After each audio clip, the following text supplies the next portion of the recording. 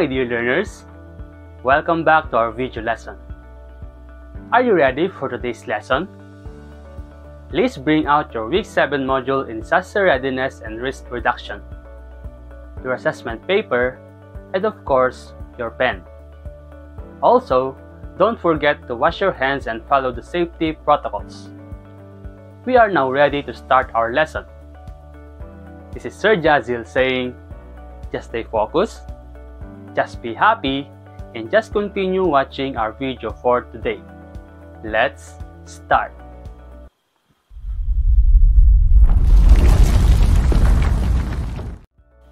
Can you help me remove these things? I will be able to remove these debris and rocks if you answer the following questions correctly. Are you ready? Amazing! Let's start. Guess what part of an earthquake hazard map is being asked? Choose the letter of the correct answer.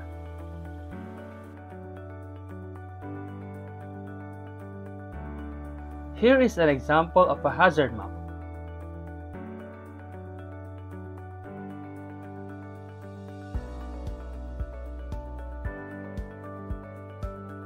What do you think is this part of an earthquake hazard map? Is it A. Legend or B. Title?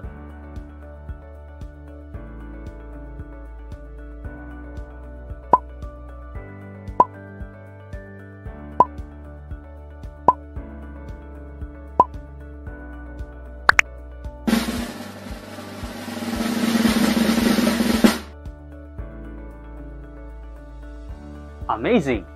The correct answer is A. Legend. Let's have the next one. What about this? Do you know this part of an earthquake hazard map? Is it A. Symbol or B. Compass rose?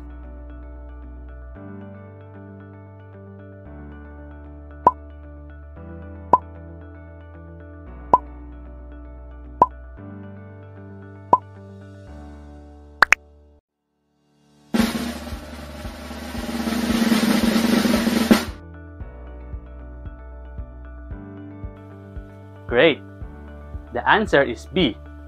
Compass rose. Let's have number 3. What about this one? Can you tell me what part is this? Is it A. Scale or B. Color?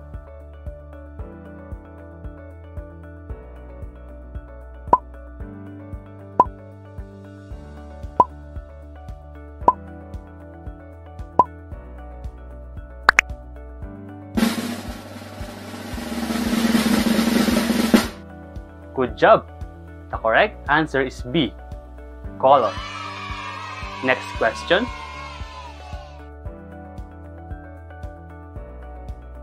Can you tell me what is this part of an earthquake hazard map? Is this A. Title or B. Scale?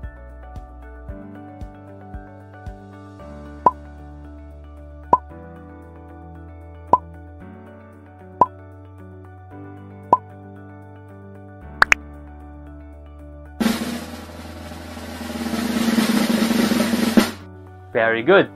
The correct answer is A. Title. Let's have number 5. What about this one? What do you call this part? Is it A. Symbols or B. Legend?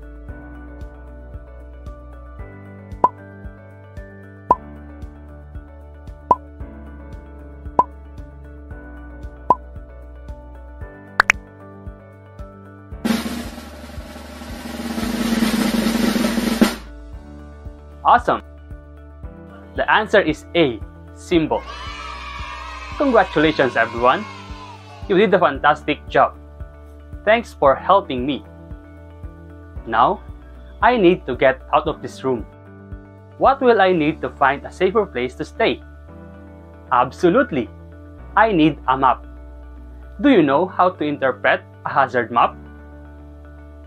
Don't worry, because we will learn about it today.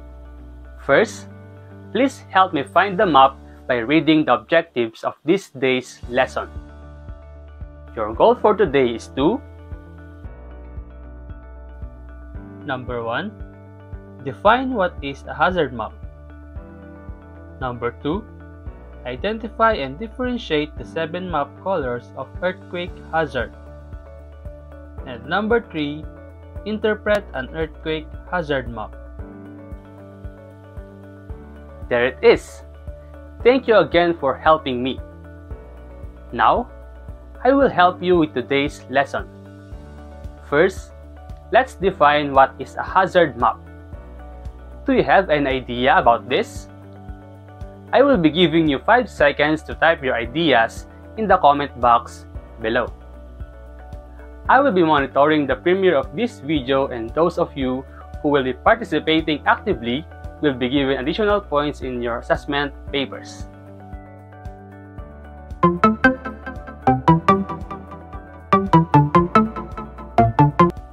Very good! A hazard map is a map that highlights areas that are affected by or are vulnerable to a particular hazard. They are typically created for natural hazards such as earthquakes, volcanoes, landslides, floods, and tsunamis. Hazard maps help prevent serious damage and deaths. What we are going to talk about is how to make yourself or other people's lives safe when an earthquake occurs. On your first activity, we talk about the different parts of a hazard map. Let us now discuss and define all of them. Here is an example of an earthquake hazard map.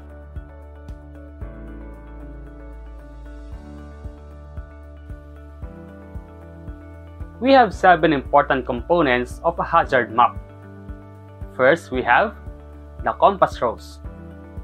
Do you have an idea about what is a compass rose? You can again type your answers in the comment box below. I will give you 5 seconds.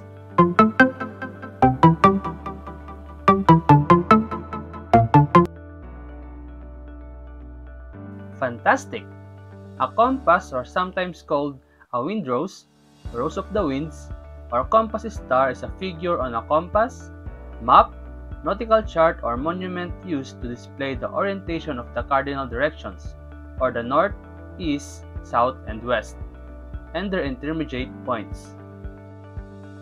It is also the term for the graduated markings found on the traditional magnetic compass.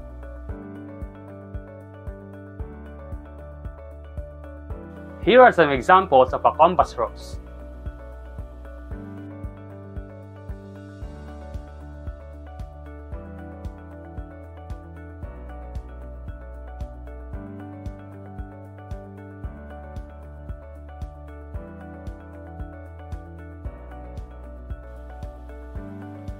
Just remember that its main purpose is to give directions. Another component of a hazard map is the title. I will give you another 5 seconds to key in your ideas about what is a title's purpose in a map.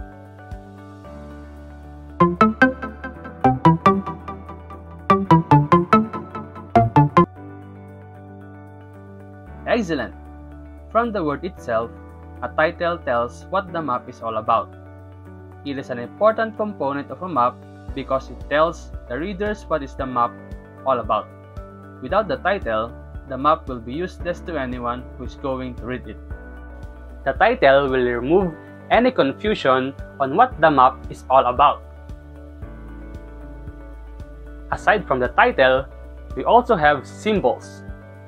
What do you think is the purpose of symbols in a map? You can again type your answers in the comment box.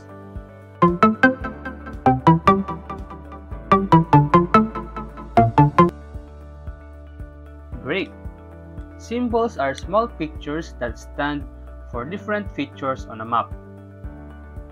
A symbol is often drawn to look like what it represents. For example, a triangular shape is often used to denote a mountain. A desert is often shown by a group of dots that might look a little bit like sand. Here are some examples of symbols in a map.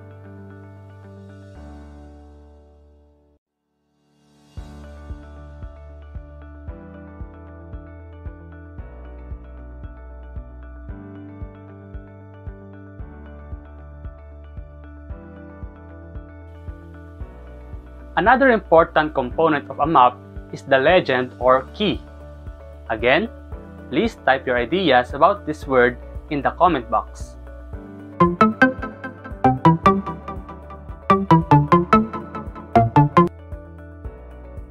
Incredible! Legend or key is the part of a map that explains the meaning of symbols and colors. This part of the map explains the meaning of the different symbols and colors placed on the map.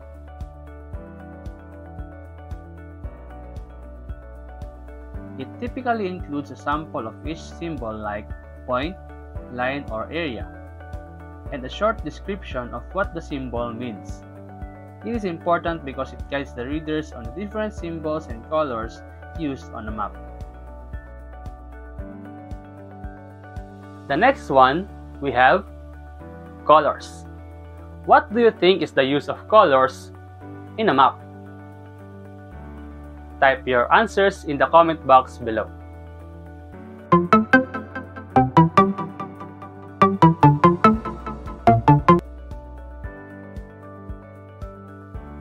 Awesome! Colors on a map are used to represent data or differentiate the different areas of the map. In a hazard map, colors are used to differentiate the levels of danger in the different areas or places. Here is an example of colors in a map.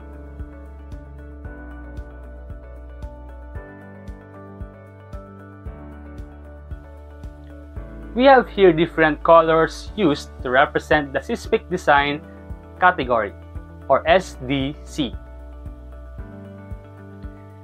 Seismic design categories are the categories of how hazardous an earthquake is. It is represented by seven colors we have. Number 1 the seismic design category A represented by the color white. In this category the earthquake hazard has a very small probability of having a damaging earthquake effect. There are also no potential effects of shaking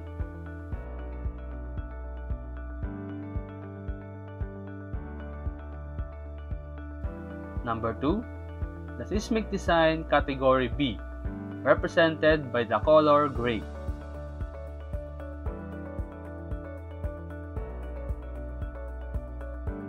In this level, you could experience shaking of moderate intensity.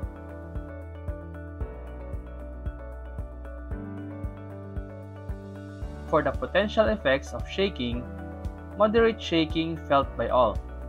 Many will be frightened some heavy furniture will be moved. A few instances of fallen plasters and damage is slight.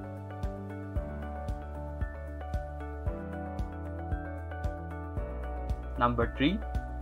Seismic Design Category C, represented by the color yellow.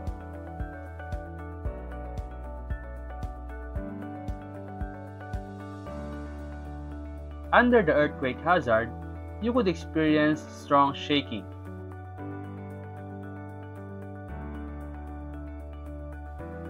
The potential effects include strong shaking, damage negligible in buildings of good design and construction, slight to moderate in well-built ordinary structures, and considerable damage in poorly built structures.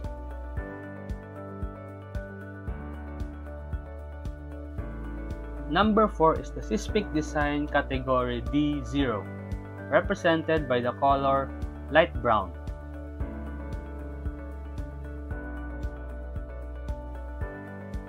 Number 5, seismic design category D1, represented by the color darker brown.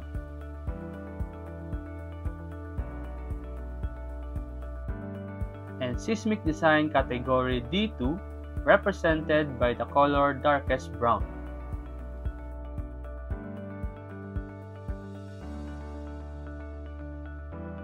These have the same earthquake hazard where you could experience very strong shaking. The darker the color, the stronger the shaking.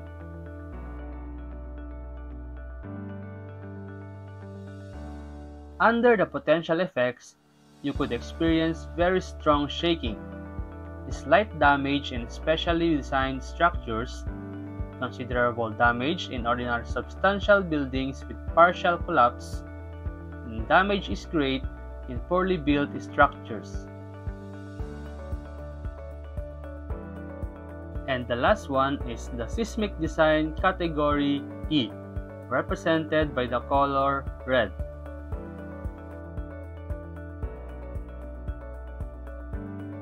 Under the earthquake hazard, near major active faults are capable of producing the most intense shaking.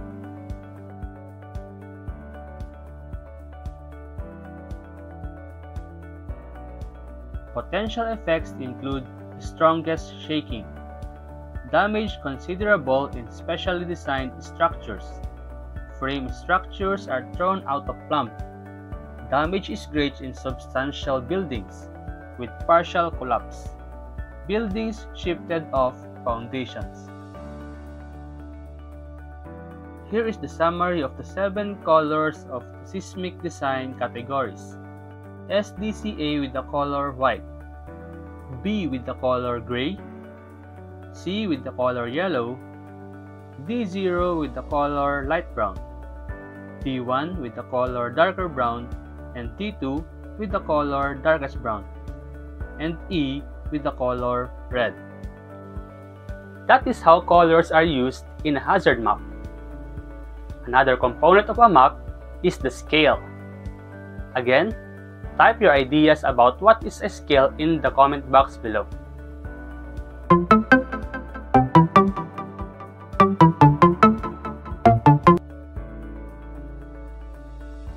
A Scale is the ratio of a distance on the map to the corresponding distance on the ground. This simple concept is complicated by the curvature of the Earth's surface, which forces scale to vary across a map. It shows the proportion of the map to the real life. The last component of a map is the grid reference. Please type in the comment box below the things you know about this term.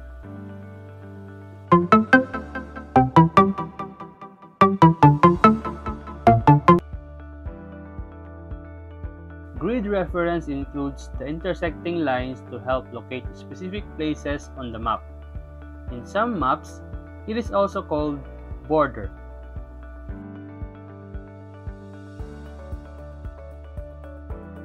Here is an example of grid reference in a map. It is the intersecting lines. Those are the different components of a map. Did you understand all of them? That's great! Now that you have learned and understood the different components of a map, let me test if you can effectively use your knowledge in this sample map. Answer the following questions by using the given earthquake hazard map. You can key in your answers in the comment box below.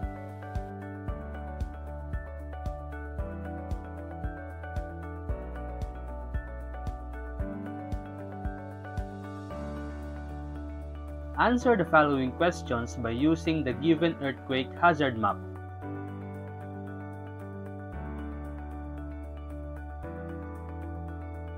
Here is your reference map.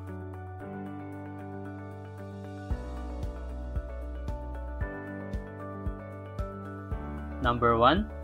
How many places are near the danger zone or fault line?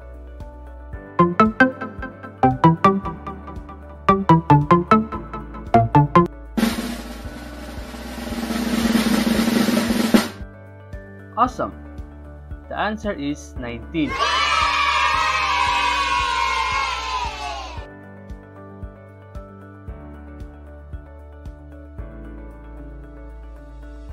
Number 2.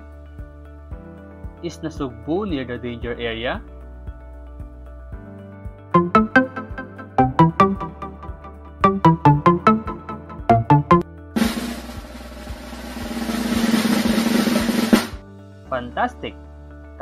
Answer is no. It is not close to the fault line.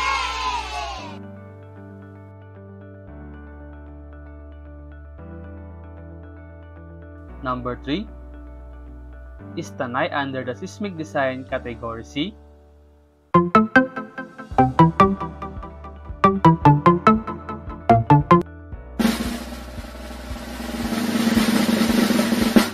Incredible! The answer is yes, because it is on the color yellow line.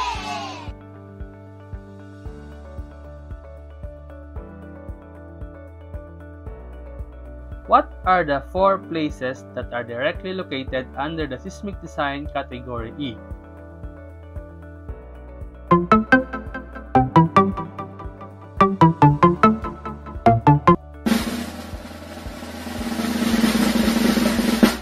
Outstanding! It is Santo Tomas, Pasay, Taguig, and Muntinlupa.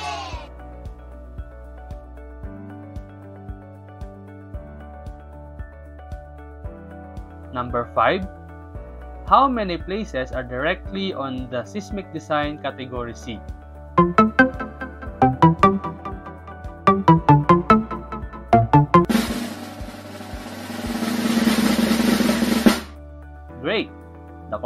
Answer is 10.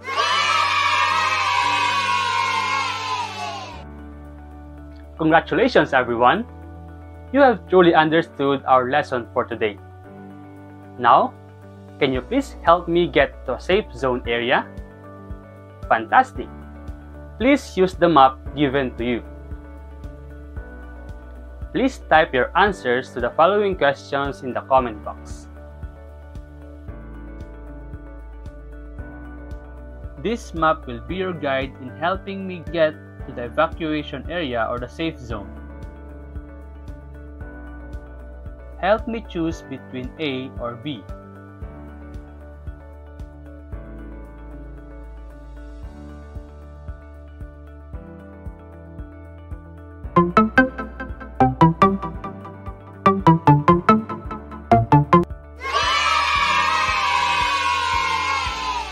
Very good. I should take option B. Where should I go now? A or B?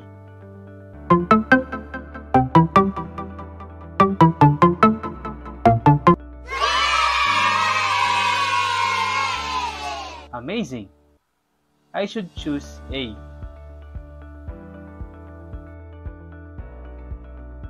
Should I go A or B?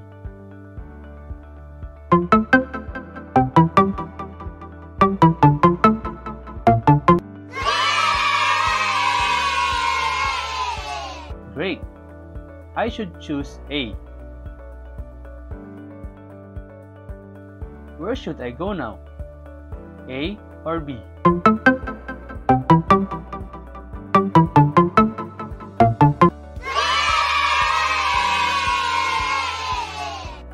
Fantastic! I should choose B. Should I go A or B?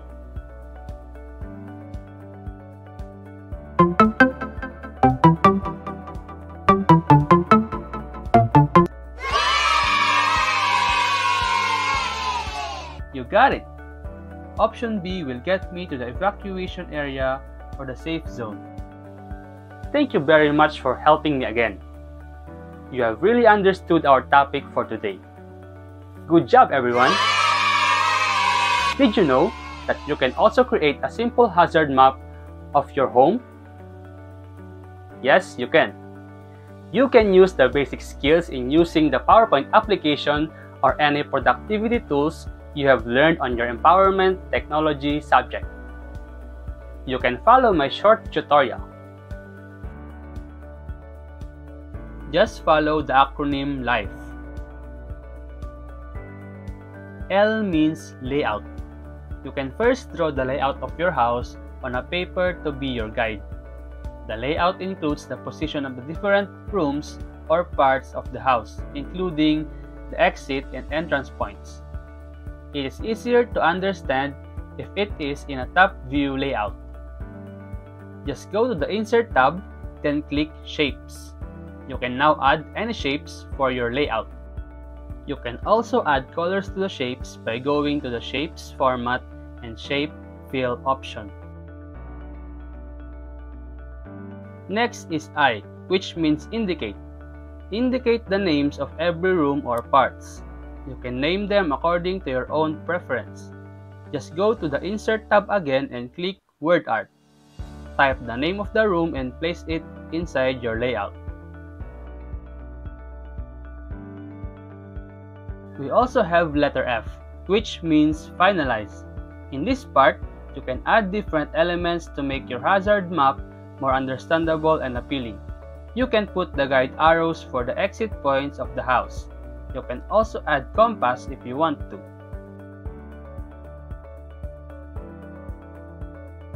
And for the last one, we have E, which means execute.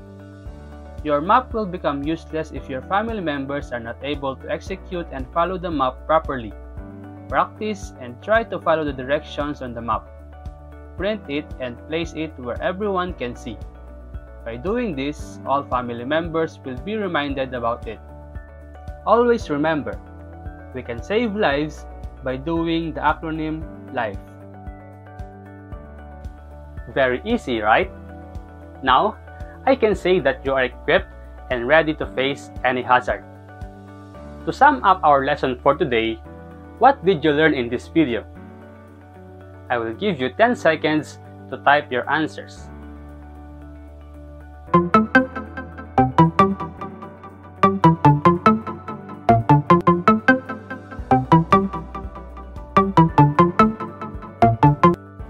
Amazing! We have discussed about the different parts of a hazard map, the different colors of an earthquake hazard, how to interpret an earthquake hazard map, and how to create a simple hazard map. Why do you think it is important for us to be prepared for an earthquake hazard or any hazard? Again, I will give you 5 seconds to type your answers.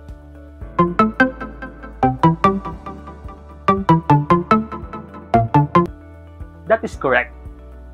As the popular saying goes, prevention is better than cure. Preparing for any hazard or disaster before it happens is the best way to save our lives and avoid further casualties. We want to be ready and be prepared so that no one in our family will be in danger. We don't know when and how big a disaster can be. The best thing we can do is to prepare for it and always be ready so that when a disaster comes, everyone in our family will be safe. That's it for our topic today. Did you learn something from this episode? I hope you did. See you again in our next video lesson. Again, this is Sir Jahzeel saying, just stay focused, just be happy,